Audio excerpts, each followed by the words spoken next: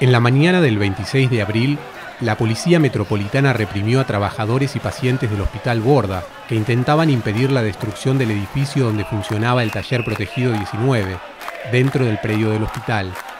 La represión dejó un saldo de 40 heridos entre pacientes, trabajadores y periodistas. Nunca previmos eh, honestamente que podría haber tal nivel de agresión como el que vimos esta mañana hacia la policía. Queremos hacer un llamado a la calma, un llamado a la reflexión, un llamado al diálogo. La manera de dirimir las diferencias no puede ser la violencia. Casualmente hoy aparecieron con la policía, reprimiendo y es más, han tirado un servicio histórico que es el servicio 19 donde trabajaban todos los pacientes donde hacían actividades. Esto es inaudito porque que entre la policía con un cuerpo de antimotines de más de 100 tipos para reprimir al personal, para defender una empresa que voltea un, un taller que lo único que hace es enseñarle a los pacientes a trabajar, es inaudito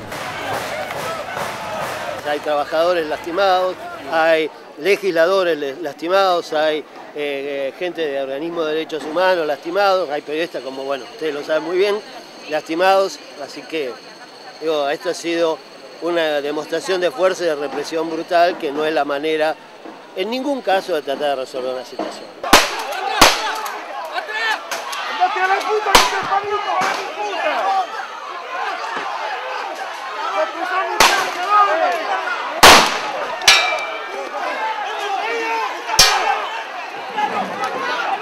Lo único que se montó fue un aparato represivo con policía metropolitana, infantería, sin orden judicial, ya que la Cámara se tiene que despedir ante la apelación que hicieron muchos de los diputados presentes hoy en este conflicto. Lo único que se buscó como objetivo es una maniobra distractiva a efecto que cuando se levantaron las las eh, empaladas para que justamente no se vea destruir lo que es patrimonio histórico de la ciudad de Buenos Aires como los talleres protegidos, sin orden judicial y bajo la orden solamente de un ministro.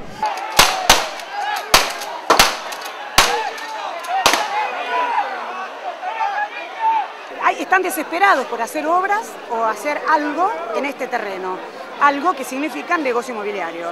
Entonces creo que por eso la desesperación eh, de avanzar hasta acá y de pagar el precio político que están pagando. Lo más grave me parece es que hay compañeros que están detenidos al solo efecto de defender su puesto de trabajo para defender el espacio público. Y lo que es mucho más grave, que con estas situaciones se sabe cómo se empieza y no cómo se termina.